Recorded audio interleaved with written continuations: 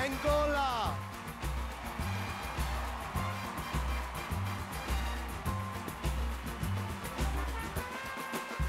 Miss Angola was a surprise for me, but you know what? She is looking amazing tonight. This dress fits like a glove. The crowd's going crazy right now, actually.